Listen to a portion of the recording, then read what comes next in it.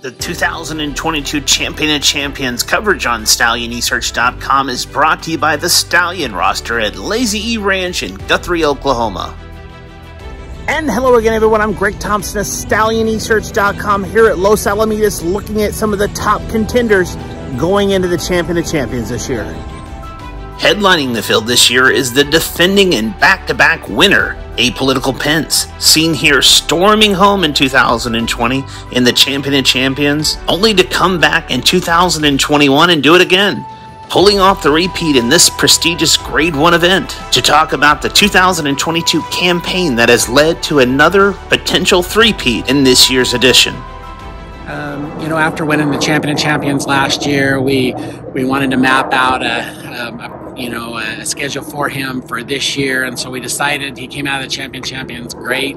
We decided to go to the winter championship and uh, we ran him in there. We were fortunate enough to win that. And then we shipped him back to Oklahoma and turned him out. We gave him a break and uh, freshened him up. And uh, then we sent him to Ruidoso and uh, to our team up there.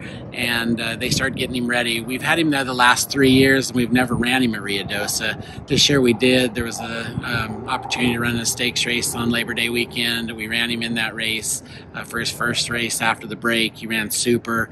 Um, then we shipped him here to Los Alamitos, uh, ran him in the Robert Boniface, and he was really sharp. He ran a great race. And after that, we had quite a bit of time to champion of champions, and uh, we continue to maintain training just like we do. We pony the horse a lot, we keep him fresh, keep him pretty happy. I went up to the Z Wayne trials he was doing good. I decided to run him in those trials because I thought he'd get more out of that than he would out of a work. Um, I knew, you know, for the champion of champions, he's going to have to be razor sharp. Uh, he put in a great performance in the Z Wayne trials. He came out of that super good, and uh, we're leading up well to this race. Next on the preview, we go to the barn of Dean Frey, who trains reigning world champion Danger, who's coming off of a win in Indiana in the Bank of America Challenge Championship, going into the finals here at Los Alamitos. Well, he's been training up really good. You know, um, his first start of the year kind of caused himself a little trouble in the Leo.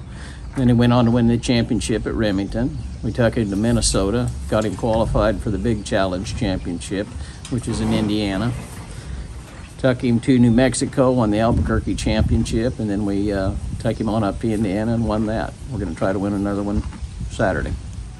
Another horse vying for the spot as top contender is Heath Taylor trained in Pressum. The multiple Grade 1 winner rattled off victories in the in the Grade 1 vessel's maturity Press him out wide, has charged a long way clear. This horse really sets the pulse racing. And then put in another smashing performance in the Grade 1 Go Man Go handicap.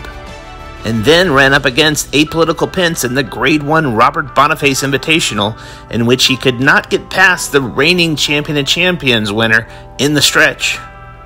We were able to talk to Ruidoso Hall of Fame trainer Heath Taylor about this talented four year old you know, impress him. He's settled in here all year. He acts like he'd been here all his life. You know, he eats phenomenal here, rests really well here. Um, you know, the horse seems to really like the surface and uh, has been really happy and doing well. And uh, I'm pretty pleased with how the horse is doing.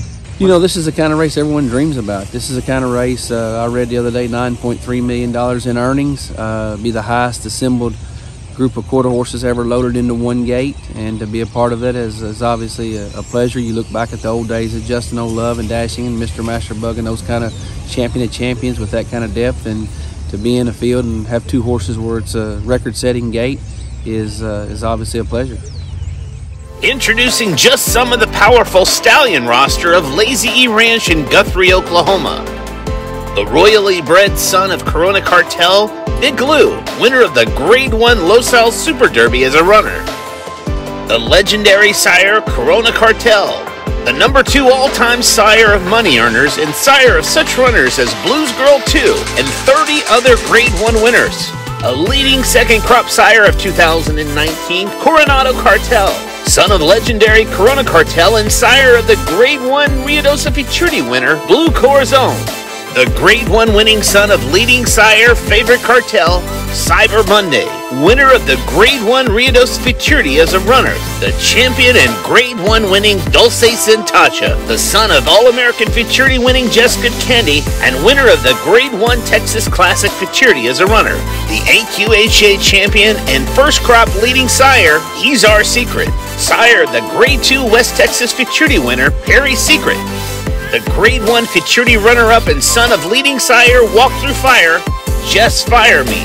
Runner-up finisher in the Grade 1 Ruidoso Futurity as a runner, which are just some of the sires standing at Lazy E Ranch in Guthrie, Oklahoma.